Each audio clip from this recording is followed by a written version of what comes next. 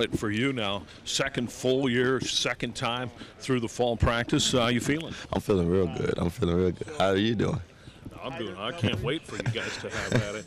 And how about the secondary? Certainly, when you bring in a new coach, it, it changes the mix a little bit. Uh, uh, your impressions of Coach Ash and how things have developed for you guys? Oh yeah, he's a very good coach. You know, he go push me every day. He go push us all the secondary, the corners. You know, that back half. He go push everybody. So he want. He's a perfectionist.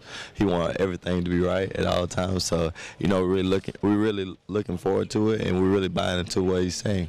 How significant was for you to get some PT late in the year last year, like the Orange Bowl, for example? It's real good, you know, to get some of that off your belt so you won't have no butterflies as soon as you get in. So, you know, it's really, to have that experience is really great. We saw in the springtime that you guys are attacking attacking the ball more uh, defensively from a past situation. Is that sort of mentality uh, continued? Yeah, it has. You know, we're gonna be very aggressive on everything, so we want to slow play everything and go up and attack it. So you know that really have continued, and we're gonna buy more into that. Competition for you includes obviously uh, Cam Burrows. Do you see it as competition uh, or a threat to your position, or depth is a good thing? You know, depth is a good thing. You know, I like competition. It's competitive excellence. As Coach Meyer says, you know, we go push one another.